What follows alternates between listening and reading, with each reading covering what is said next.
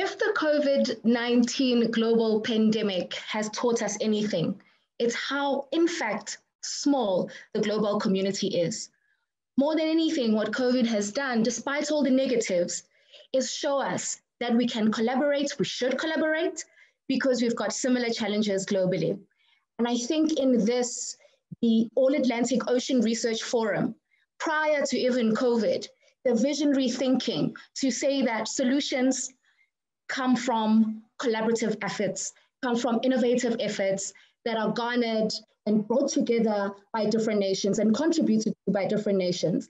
And with that, I welcome you officially to unofficially, officially, because we will get an official, official welcome by the Director Generals in a moment. But I welcome you. My name is Thulile Khanyile. I am coming to you from the very chilly South Africa in Johannesburg today and hope you are comfortable and doing well where you are and looking forward to the forum today. And really the forum today and the forum tomorrow is looking at having discussions around how this COVID 19 has affected us and how we can put together recovery plans and as policymakers, as community, as researchers, to mitigate some of the challenges that have brought have been brought forward by COVID-19. We have an array of speakers from Polar to Polar that will be engaging with us from today and tomorrow. And I have met majority of them and I assure you that we're going to have a stellar conversation over the two days coming. Like I said, my name is Thulile Khanyile. I am your moderator. I am a molecular biologist by training. I'm a lecturer at the University of the Witwatersrand. I'm also a social entrepreneur who cares a lot about how we create a pipeline of high school kids two feet into research and innovation. So the forum is going to look at research activities that contribute to socioeconomic recovery of countries from COVID-19 as I've stipulated. And before going any further, just to start off with a little bit of uh, uh, some house rules for all of my speakers, please remember to mute after you've had your, your contribution. And at this particular moment, I'm also going to take the time to welcome all of our viewers that are on this Zoom platform, all of our viewers streaming live on the um, Facebook as well as on YouTube. Please do submit your questions and your comments through the chat. Your questions, we'll try to get to as many of them as we can, but I cannot promise that I will get to all of them, but I will try my best to go um, through as many questions as I can, given, of course, the time. For all of us that are on social media, please do ensure that, as we've said, the global community is shrinking. The global community has similar problems, similar challenges, and we want the global community to know about this conversation. So the hashtag to use when we communicate on social media is hashtag Atlantic All. So join the conversation on these social media platforms and ensure that everyone that is out there is also participating to the panelists, I really do look forward to all of your contributions and I look forward to the conversation. In South Africa, in my native language, we say when we greet Sanbona, which is to say, we see you, which is to say, we acknowledge you, you matter, we see you. And um, with that, I think I'm going to segue into the video of South Africa that's going to show the energy and the essence of South Africa and the people of South Africa. And with that, um, over to uh, technical for the video. Thank you.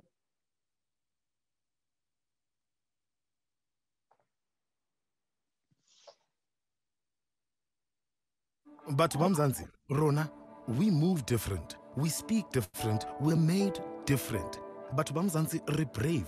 Not only are we a nation that appreciates those that died so that we could be born free, we're a nation that refuses to be defined by our past. But Bamzansi, we thrive. Pella, we have this ability to show utmost tenacity to achieve the unimaginable. A nation filled with innovative thinkers, generating ways to change the world and create a livelihood for fellow South Africans. We don't wait for an opportunity to knock. We're a nation brave enough to build a door using the spirit and vision of those who lived before us. But Bamzansi, we are one of a kind We're a nation that unites and supports each other despite our differences. A nation filled with cultural richness.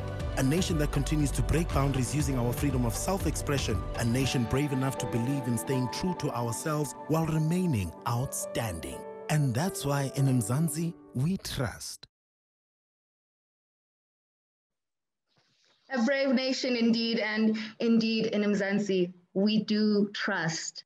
I hope that with that video, you feel welcome into South Africa and you feel a little bit closer to the nation and its people. I mean, we are here, after all, for the All Atlantic Ocean Research Forum. And I think what's important is to have a look at how this alliance was formed. What is this alliance about? And I think the next video that we will play, the anchor video, will show us where we come from as this alliance, why we have this forum today, what it aims to do, and encapsulates really a beautiful introduction for the today as well as tomorrow. Thank you again. Over to Technical for that anchor video.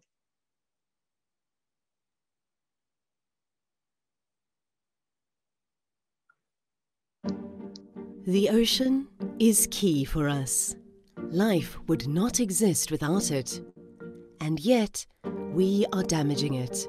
Designing policies for ocean sustainability requires accurate observations and scientific information. We cannot do the science that is needed and the observations that are needed to sustain the Atlantic ourselves. No one nation can do it. Building on the success of the Galway Statement, various countries decided to connect their initiatives to support a massive transatlantic cooperation.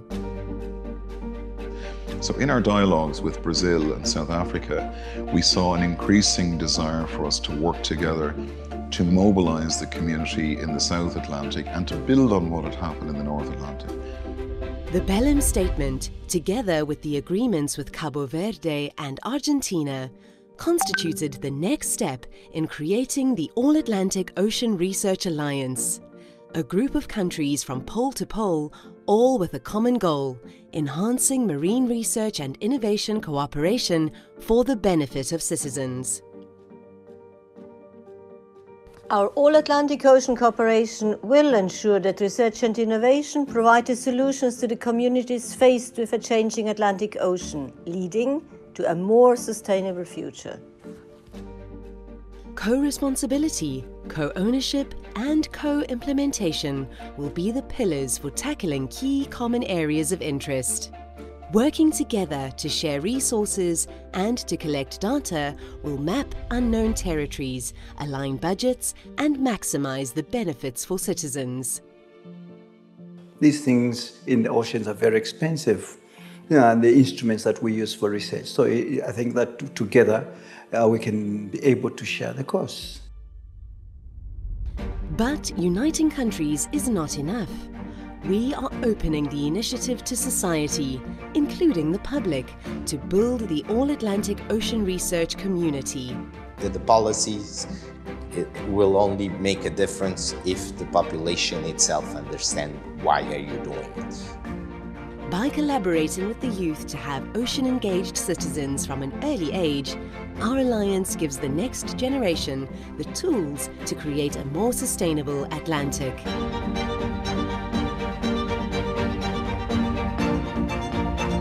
There's a very good African saying that says, if you want to go far, you go alone. If you want to go further, you go together. So join us and help make our Atlantic a better, bluer place for all.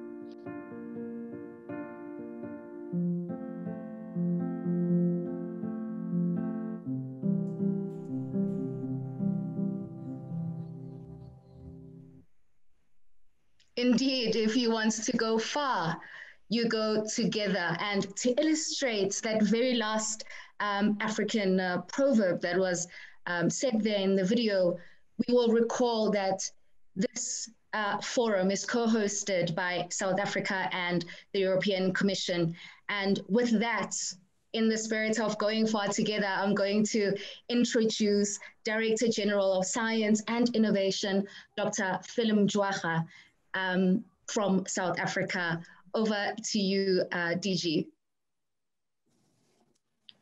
Thank you very much, uh, Tuli, and like to acknowledge all the guests that we have uh, this afternoon, and in particular my co-host, uh, DG Jean-Eric Paquet from the EC, dear partners of the Atlantic Ocean Research Forum, ladies and gentlemen. The year 2020 brought us the challenge of the COVID-19 pandemic and brought with it a number of global challenges, including those that are health, social, and economically related. The global community was forced to work together to find solutions together and learn from each other. For the first time, it became evident that we are one people. We need each other to survive, and also many myths were globally dispelled.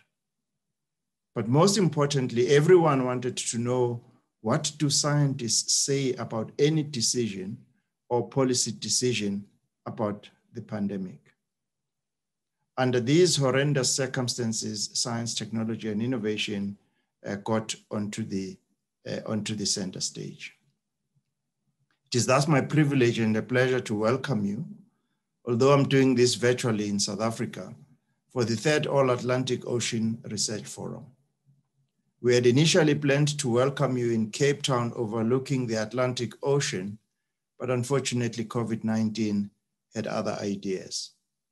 I appreciate the spirit of the All Atlantic Ocean research community that adapted and opted to continue and focus on finding solutions to societal challenges that are also aggravated, by the pandemic. Given the multitude of global challenges that we face, international cooperation is imperative for science to advance. Science knows no borders. No country is strong or big enough to act on its own. We need to join forces, share our resources, experience, and expertise, as was demonstrated by the video. We are, as the program director indicated, co-hosting this event with our collaborative partners, the European Commission. I will later on hand you over to DG Jean-Eric Paquet of the EC Directorate General of Research and Innovation, who will also soon welcome you. However, I do like to give you a little bit of history about this collaboration between South Africa and the European Union, where we share very, very strong partnership in the area of research. For background purposes, Science and Technology Cooperation Agreement between the two was concluded in 1996 and was of the first agreements that the EU and South Africa signed since democracy in 1994. South Africa has a very successful cooperation uh, with the EU on a number of areas, and these include uh, research cooperation in health, bioeconomy, food and nutrition security, and sustainable agriculture, as well as in marine research. In 2016, though, we decided to formally highlight the Atlantic Ocean as a specific area of collaboration through a declaration of intent on marine research and innovation cooperation between the two countries. Uh, and this was concluded in Cape Town. And the great story about this is that it was concluded on the 3rd of October 2016 which was a celebration uh, of 20 years of collaboration uh, between ourselves and the EU, uh, which had been signed 20 years ago. I also wish to welcome Professor Moenieba Isaacs, a South African expert on the Atlantic Ocean social sciences, who will provide a keynote address that will initiate our social responsibility discussions. Whilst on background, in 2016, Brazil hosted the first all Atlantic Ocean Research Forum in the historically significant and beautiful city of Bahia. This meeting marked the beginning of significant changes as we can see the outcomes of that engagement in the form of a number of successful EC-funded Horizon 2020 collabor collaborative projects that will be showcased tomorrow. The Brazilian meeting provided a platform for our researchers to engage each other towards a common goal. it is now evident that the All Atlantic Ocean Research Partnership is bearing fruits, and we hope a lot more is still to come. The All Atlantic Ocean Research Collaborative Partnership also brought with it a number of other significant activities, such as the All Atlantic Ocean, Ocean Youth Ambassadors Program that was launched in Galway in 2018. This program provided an opportunity for the All Atlantic Young Torchbearers to assist in tackling some of the societal challenges and engage the global community. Due to home ground advantage privileges, I would like to take this opportunity to thank Sandra Palmer and Sinekuku Banda, the South African youth ambassadors, for their contribution and wish them well in their finalization of their writings of doctoral degrees. I believe they will bring new professional dimensions to the All Atlantic community. The new cohort of the All Atlantic Ocean Youth Ambassadors will be launched tomorrow, and I'd like to wish them well. We are, of course, disappointed that we had hoped to launch them physically and enable all of them to experience uh, these two oceans aboard uh, one of our vessels, but unfortunately COVID-19 prevented that. But it is not all gloomy as this might, might still happen later, but under different conditions. Earlier this year, in February, the European Commission hosted the second All Atlantic Ocean Research Forum. That meeting crafted a vision on how to strengthen international cooperation and how to seize the opportunities that would assist in addressing common challenges facing the Atlantic Ocean communities. As the host, South Africa aims to derive from this meeting ways and actions in which this community can contribute to the socio-economic recovery with a special focus on the specific actions that would bring along positive impact on the Atlantic Ocean communities. Hence, we encourage you to embark on discussions aligned with this globally important and significant theme, and the uh, program director has already highlighted this. For our part as South Africa, we just want to assure you that we will ensure that we will continue our current investments in science and innovation as they serve as an integral part of the national growth and development objectives. We recognize that South Africa enjoys a geographic advantage including our rich biodiversity and diverse climatic conditions arising from the Atlantic, Indian, and Southern Oceans. We recognize our geographic advantage, and as South Africa is a country surrounded by these three oceans, hence we have developed several strategies on the oceans, and we have also acknowledged that the ocean is also an economic driver, hence the ocean started as the initial plan to implement our national development plan, in the form of Operation Phakisa, ocean economy that you've been informed of in the last two meetings. The United Nations has proclaimed on 5 December 2017 that a decade of ocean science for sustainable development will be from 2021 to 2030. The decade of ocean science will focus on efforts to reverse the cycle of decline in ocean health and ensure that global ocean stakeholders are gathered behind a common framework to ensure ocean science can fully support countries in creating improved conditions for sustainable development. With the COVID-19 challenges, the discussions over the next few days are encouraged to look at key social elements that would enhance our commitment to contribute collectively. I'm also glad we, that we as the Department of Science and Innovation are contributing one of the two African intellectuals to the initial nine member executive planning group team that is now reduced to 18 as Dr. Ricardo Serrao Santos now serves as Portugal Minister of the Sea. This is a global expert group tasked to serve as an advisory body to the IOC governing bodies to support the development of the implementation plan uh, of the decade and the preparatory activities. As indicated, second day discussions will mainly be directed towards some of the key activities that have already been initiated globally and locally, as well as reflect on some of the actions needed across the various themes. I'm also happy to announce that Dr. Vladimir Ryabinin, the Executive Secretary of the Intergovernmental Oceanographic Commission, IOC, will lead discussions, and I'd like to thank him uh, in advance. Africa as a continent matters in the building of the All Atlantic Ocean Research Forum, and that all efforts will be made to expand the participation through regional bodies, namely the Benguela Current Commission and the Abidjan Commission. As the current chair of the African Union, South Africa is pleased to welcome the African countries participating in this forum. Dr. Karim Hilmi, the IOC Vice Chair for Group 5, will lead these discussions tomorrow as a key in his keynote. I thank you and look forward to informative discussions and successful cooperation going forward. And again, I'd like to welcome you. Thank you very much. Thank you very much, uh, Dr. Mjwara, for that very insightful and that very in-depth opening, giving us really good hope and a really good understanding of where we're going as a country, as a continent, and as, as the Alliance um, holistically.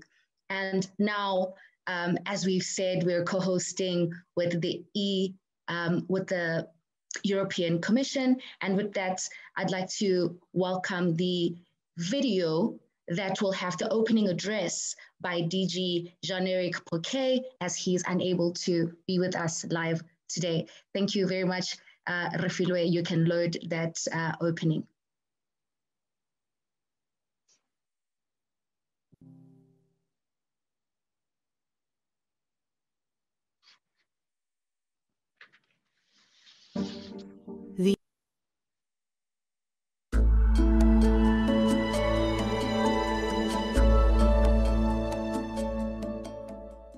Ladies and gentlemen, good afternoon. It's uh, a pleasure and really an honor to have the opportunity to open this uh, All Atlantic Research Forum together uh, with my friend and partner, Director General Phil Mjwara. Uh, Phil, good afternoon.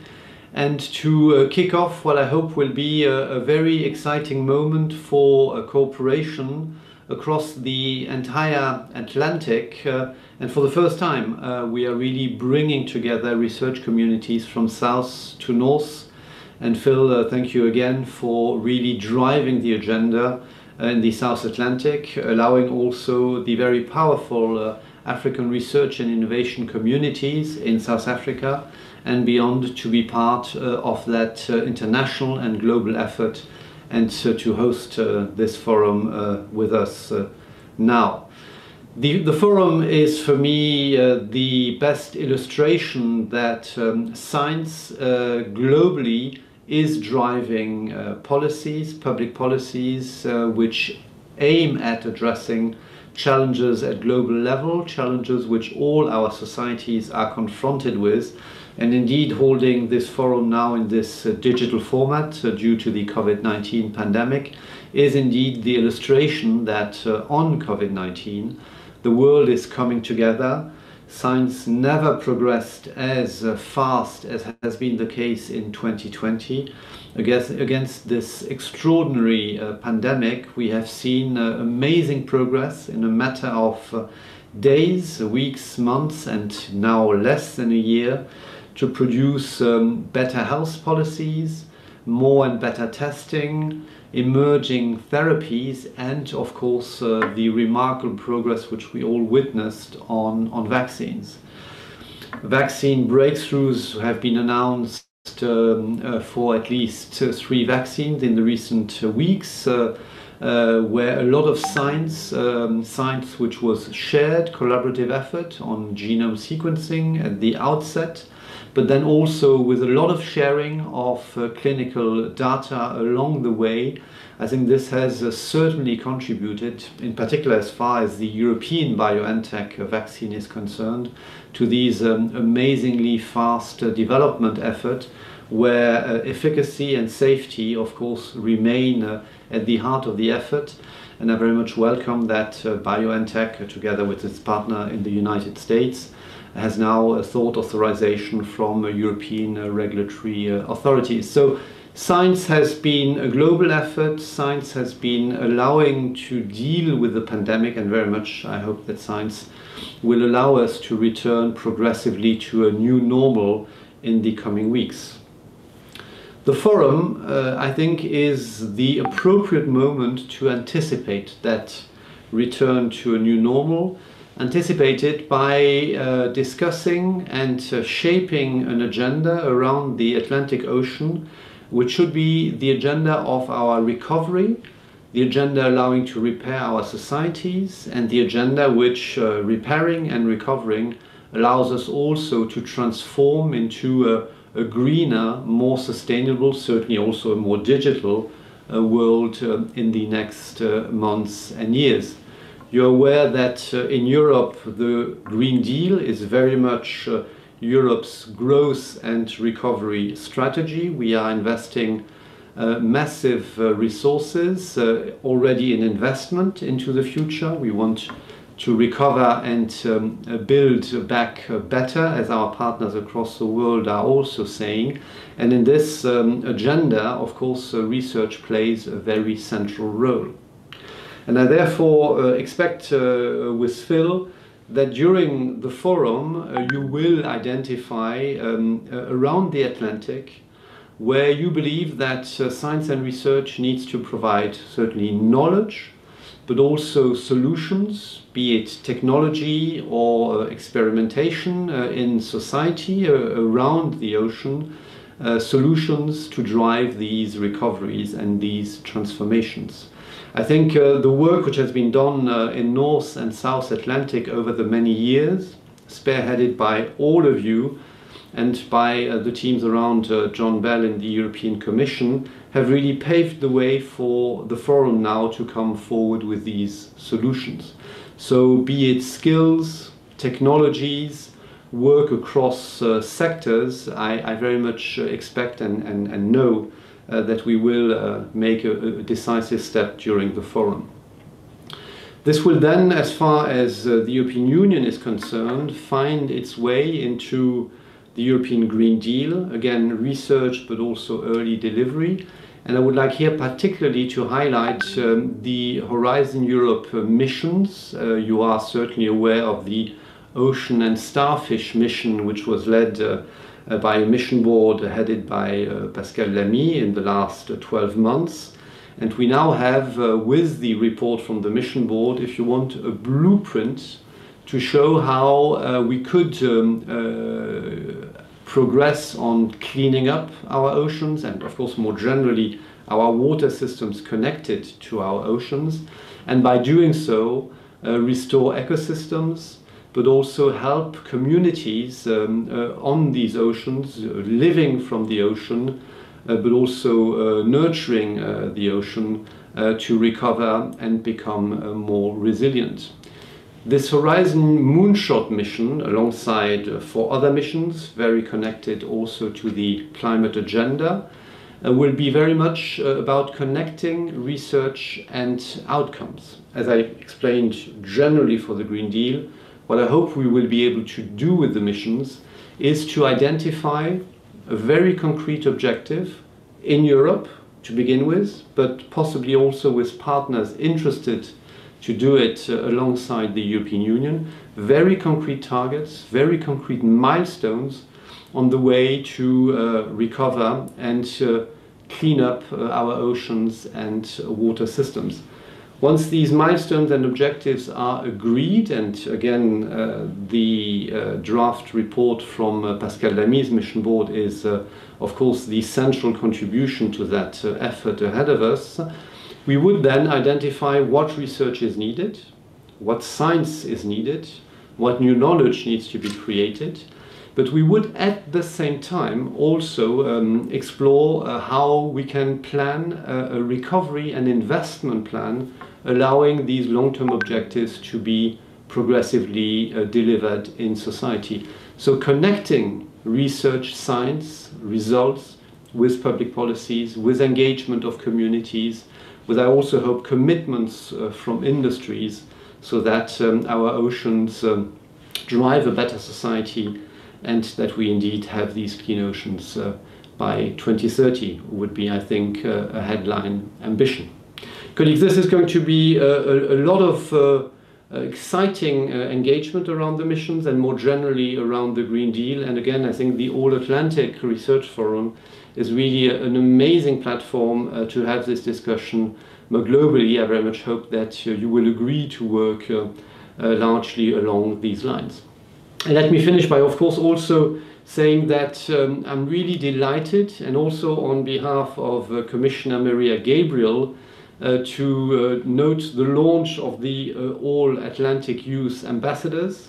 I find this is an amazingly exciting process, and I really look very much forward to continuing to work with you ambassadors. Um, I have met several of you already, in particular for the North Atlantic, and we have high expectations that you can um, be major drivers in engaging communities, mentors also to bring new scientists in this amazingly important uh, part of science and help us indeed connect science results with uh, policies and with uh, results in society.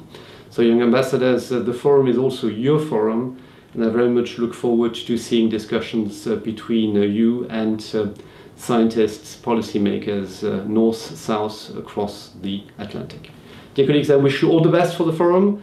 And Phil, uh, with you, I'm looking very much forward to see the results. Thank you very much.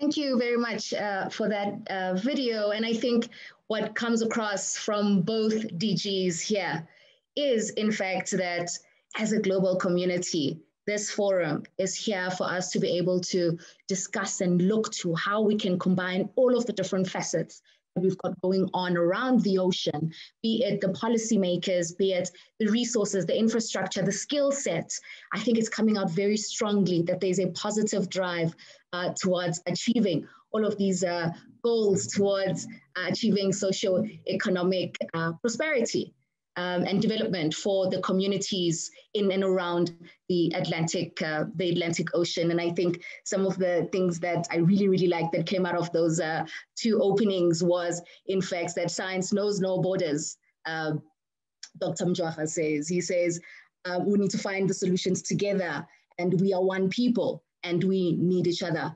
And then um, uh, Mr. DG Paquet goes on to say that this forum is an illustration of the science globally that drives policy, in turn, touching directly the lives of people. And I think, um, thank you very much to both the DGs for opening the floor for us. And now we can be really comfortable because our co-hosts have let us know that the floor is ours. They are listening. They want to hear what we're saying and they're in support of all of us. And also to the youth ambassadors, the messages are clear to you there. Both DGs clearly um, indicating the importance of young people um, and their participation in driving the Atlantic Ocean, its research and innovation. And now we move on to our keynote speaker, Professor Moenieba Isaacs, who is the academic coordinator at the Institute for Poverty, Land and Agrarian Studies, PLAAS, which is an independent policy institute within the University of the Western Cape here in South Africa. Her research focus is on the understanding, is on understanding the social and political processes of fisheries reform in South Africa.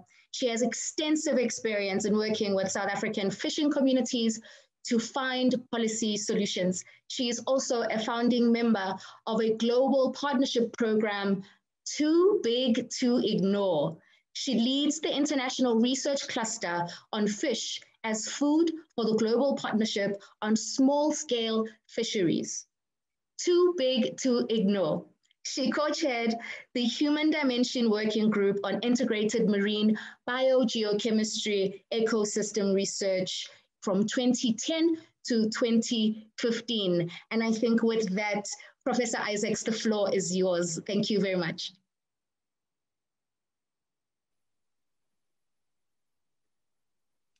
Um, thank you very much, uh, Tule, uh, for your um, uh, introduction. Um, I'm going to start sharing my screen. Um, uh, yeah, I think I can start my video too. Uh, it's a little bit, um, no matter how many times one does this, it's a little bit uh, daunting when you speak to your computer. Um, I'm going, just going to do this. Okay, um, yeah, nice, nice to see you on the side. It is, uh, yeah, good afternoon, everybody. Good morning if you are on the um, east coast uh, from, uh, on the west coast from us, so yes. Um, and good evening if you're on the East Coast joining. Um, my name is Moenieba Isaacs, as Tuli has introduced me. I'm a professor at the University of Western Cape. Um, I, I do work on fishing communities, but I also have to be upfront. Um, I'm a little bit biased because I come from a fishing community. Uh, uh, thank you for the Department of Science and Technology uh, for the invitation and I have to be upfront um, to all of you. I make apologies that I have another meeting that I left and I have to rejoin. So technology is making us even superhuman nowadays, joining more than one meeting at the time. So situating my talk, um, um, uh, I'm going to, it, it, it is basically part of you know the All Atlantic Forum, um, Ocean Forum, and um, it is intended to drive social science towards addressing the social needs. It is part of this uh, ocean decade that that we need to prepare ourselves. And um, just to bear in mind that 2022 is the year of the artisanal fishes, and that's a key part of my research uh, part of the signing of this particular agreement is to look into climate change, climate and ecosystem approaches, and also earth and ocean observation and forecasting, food security, fisheries management and aquaculture, and ocean technology. So I just want to say that my talk is going to be situated into more addressing um, science for social needs and also the issue of food security, fisheries management, and um, aquaculture is where I'm going to situate my talk. So, um, no, not that one this one. So social science during a pandemic, I think that it is important that, you know, research, my research has always looked at uh, the fisheries in terms of the social dimension. It is also uh, uh, uh, unpack the economy and more in recent years, the blue economy. It looked at fisheries management tools um, and um, also unpacking conservation I have been uh, uh, working on um, unpacking the concept of blue justice. Blue justice is also a concept within the blue economy that I will try to speak a bit about. And also in terms of policy, my work has been on policy. So when we're talking about fish from my perspective, it is about people, it is about the human aspects, it is about protein, it is about local uh, um, communities, and obviously the species that gives them a food, that gives them livelihoods. a, a, key part of my work is also around the um, voluntary guidelines for small-scale fisheries, right to food, and also tenure guidelines. And gender forms a key part of, of, of my research. One species that is incredibly important, not only for the ecosystem, but also in terms of food is the sardine fishery. And I have a paper that I've written about the humble sardine, the importance of this fishery, not only in terms of nutrition and food security, but also in terms of the ecosystem, as Daniel Pauly uh, reminded us uh, uh, so well. I think that when we're looking at social science research, we often look at the key part for me is methodology. Um, didn't touch you. And it is important that um, we look at what are the different methodologies that we use in fisheries. And ethnographic work, which means that we spend time in communities and we get deep understanding of what are the issues within the community. And no community is, no matter how it looks like it is, um, uh, they are homogeneous. There's no community on this planet that is homogeneous in nature. They are often complexities. Um, fisheries monitoring, fishery participant observation is a key, and focus group interviews. We know of biological sampling, census interviews, and, and these are the uh, mapping and GIS is a key part, modeling, econometry, and, and also social media um, analysis has become more and more part of the work. Um, in terms of methodology, it is so important in a forum like this that we uh, promote of a promotion of information uh, sharing, communication, networking, and using innovative forms and format. And this year has definitely showed us how we need to be more innovative in, in terms of doing our work um, establish common databases, interactive um, information and system, but also a common language that is important. It is far too often that social science is seen as an afterthought and seen as, okay, we now need to sort out the society problems, so let's get the social scientists involved. And this is the story of my life in South Africa, interacting with marine scientists um, in it's often an afterthought. And I think that that paradigm needs to shift and it needs to change. And we need to develop integrated analytic research and methodology, methodological framework to be able to deal with the grand challenges that we are framing in a transdisciplinary way and not in a disciplinary format. We will never deal with grand challenges in only one discipline, and that is that is that is clear. We have to take a regional approach, and I think that this is a all this is a um, all Atlantic forum, but regional approaches is important, and funding for regional approaches within the region is critical and this is where the Department of Science and Technology play a key role. Both local, national, and regional capacity is critical.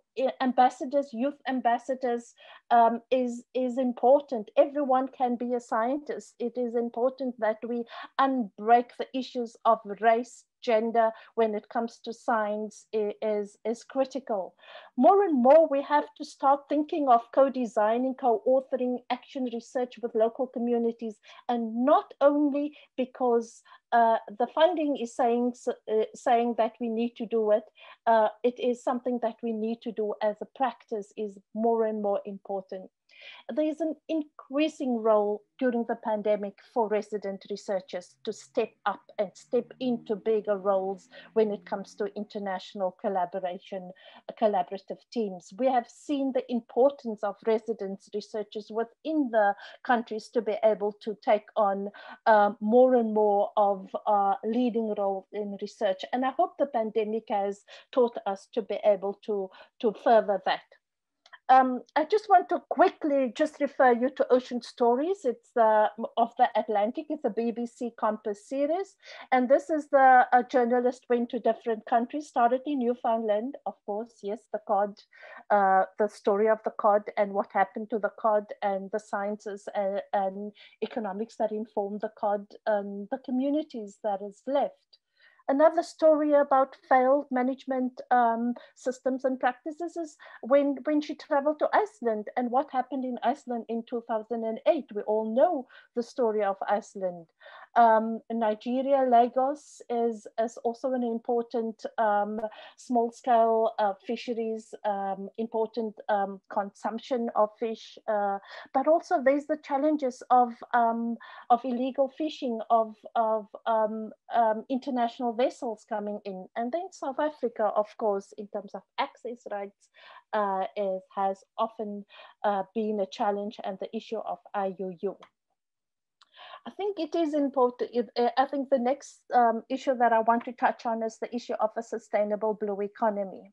We're talking about the ocean economy. We're talking about Operation Phakisa. We're talking about how to untap the oil, the gas, the phosphate, the diamonds, uh, shipping ports and industrial fishing and aquaculture. This is the model of ocean economy. Africa is spearheading its own ocean economy and linking it with sustainable uh, development. And the sustainable development goals is very critical in, in part uh, as as part of that. A part of that is also um, what are the marine protected areas? And just a week ago, I was in a 30 by 30, 30% of the ocean space is going to be wanting to be part, uh, is, is the move to, to, to, to get 30% of the ocean space in terms of, uh, uh, of, of protected areas. The issue of IUU fishing and subsidies is a critical part of the discussion in the blue economy, but there are challenges within this particular model and particular challenges when you look at the small scale fisheries, when you look at it from a perspective of the continent, when you look at it from societal perspective, there are a lot of gaps and a lot of pe uh, people that are missing in this particular uh, sector.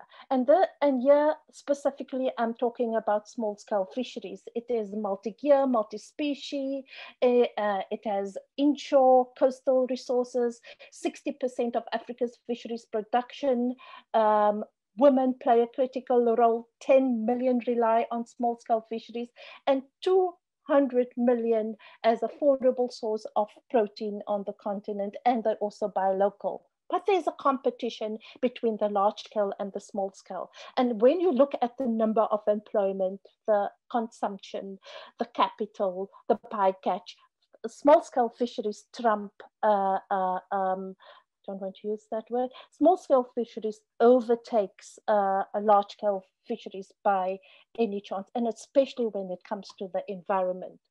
There are a lot of challenges. We are having, if we look at societal challenges, we need to look at the vulnerability in co coastal communities. We look at overfishing, we look at lack of participation in governance structures.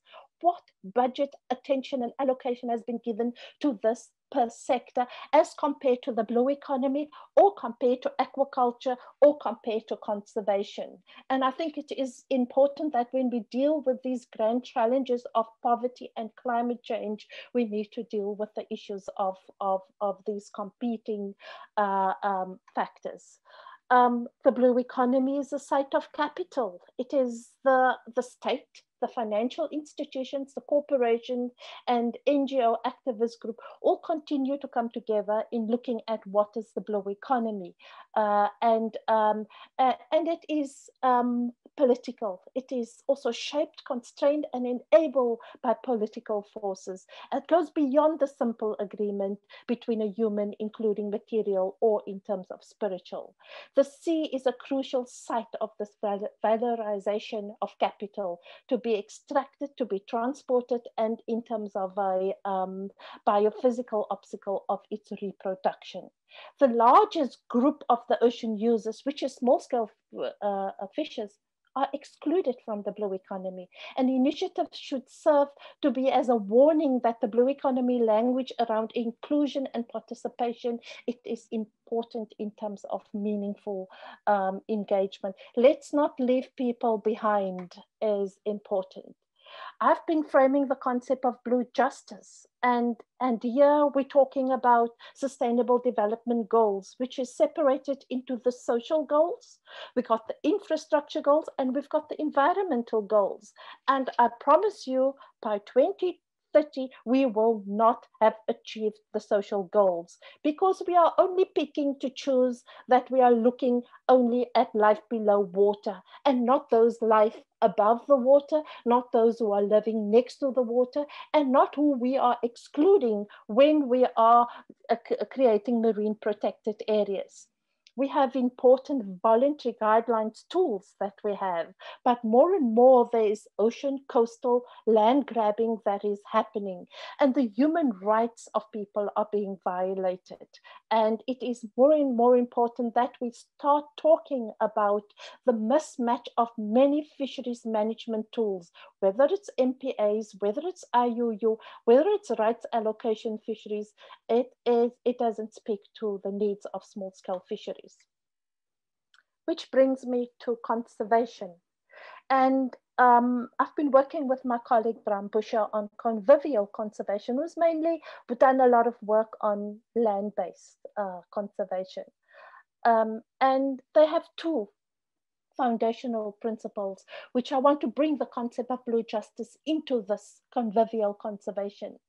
The first foundational principle is that let nature flourish more freely and let people be part of this. Let it, this means that the core approach to allow nature to flow deeper into cities, villages, and human settlements. And what have we seen during the pandemic? The penguins are going on a walk. We see more animals into our cities once we were in a, a lockdown. And um, the second uh, uh, uh, principle is to transform the economy. And right now, it's highly unequal. That leads to intolerable pressure on the planet. Convivial conservation is part of a broader movement and aim to restructure economy that balance and align human needs with the rest of life. This means rethinking and disaggregating the idea of the econ economic growth and distributing wealth um, um, more equally. And which brings me to the a couple of quick questions to complete, uh, to conclude. Um, the All Atlantic um, uh, uh, Ocean Research Forum should also consider that it is now this year 401 years since the commemoration of the slave trade, the transatlantic slave trade from West Africa to the East. Is it also that we also need to start talking about decolonizing the research and how research has been, been happening and who dictates research. We also need to be mindful of that this new frontier of the blue economy for oil and gas and all of that is just more exploitation that we're going to have. Displacement and removal of community in the name of conservation. It is important that we bring the political economy into the debates of ecology I find so often marine scientists would say, I'm not political. And that to me is a political statement in itself. African food system should be part of this, that the production of the food or those who harvest the food must are not eating the food is important. I think it is important that this forum need to look at how can we be disruptive in this in terms of this uh, of, of, of these uh, meta narratives. How can Professor, we Professor almost, Isaacs. Okay. I'm almost I'm almost done. I'm on my last slide. Okay. Um, and I think it is important that we uh, to renew how we address the societal challenges.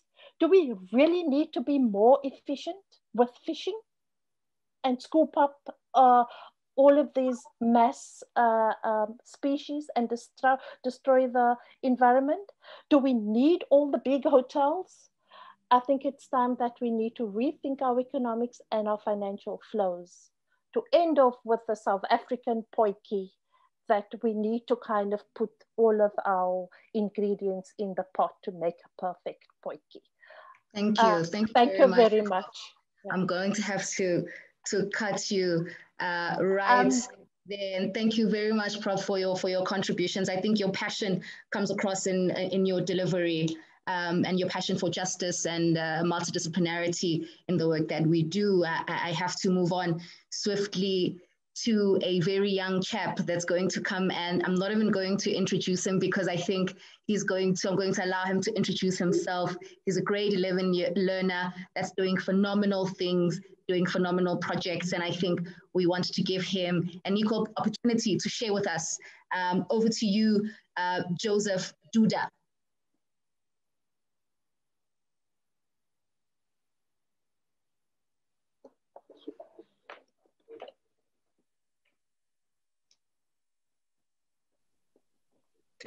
Good afternoon to everyone. My name is Joseph Duda. I'm a grade 11 learner in the school called Sophilela High School, is situated in Cape Town, South Africa. So my scientific journey began when I attended uh, a SAEON science camp, which was organized by the Egagasini Node team. There I was exposed to a fascinating thing, activities where we had to analyze and actually get taught about uh, oceanography. So at some point, uh, I got to learn about macroplankton. I was introduced to the world of macroplankton, and that really caught my attention. I was intrigued um, in wanting to learn more about these microorganisms. So that's how I came up with my investi in, in, in investigation. So um, my investigation investigative question was, uh, how is microplankton spread out from inshore to offshore areas of St. Helena Bay, which is South Atlantic Ocean? So uh, I hypothesized that uh, my, my microplankton will increase as you move from inshore to offshore areas. So the aim of this investigation was to determine the changes of these microplankton from inshore to offshore areas of the St. Helena Bay monitoring line. So the method, uh, for the method of collecting the data and the water from the ocean, uh, my mentor, Ms. Seshni, and her colleagues, they deployed a CTD, which has uh, skin bottles. Yeah, so they, so they collected water, and then as they collect water, you preserve it for some time, and then you insert into a FlowCam. So a FlowCam will give you images, as you can see on the slide, an example of an output file from an, FlowCam. So what I mainly did was to identify all these all these macro microorganisms that we find at different stations. So I could sum up the numbers and actually analyze um, the, the differences from each station. So that led to me having these results. So this is the bar graph showing the number of organisms that we found at these different stations. So on the y-axis, we've got the number of organisms, which is uh, the dependent variable. And then on the uh, x-axis is the, the station numbers. So this is my independent variable. So as you can see from, from inshore towards further out to the sea, the number decreases. So on station number one, we've got a, a number that is greater than 600, which is approaching 700. These, these microorganisms were more abundant, followed by the station number six, followed by station number 12, and so forth. Um, as you can see on these, on, on after the station number six, uh, up to station number eight, there were no microorganisms that were that were that, that were collected. So this uh, led me uh, to my discussion. As you can see on the graphs that I showed you, that Ceratium are more dominant at small stations, and diatoms were not abundant in any of these stations. And then the NAPL had the highest number uh, in abundance at station number six. So my conclusion I concluded that microplankton decreases as you move from inshore to offshore areas. And so therefore my hypothesis was not accepted. Um, I'll, I'll, my acknowledgement, I would like to thank the support that I got from the SAEON Egagasini team uh, for the mentoring and the guidance they gave me and the support from the DEFF with the support of the methods and the collection of the data from the ocean. Thank you.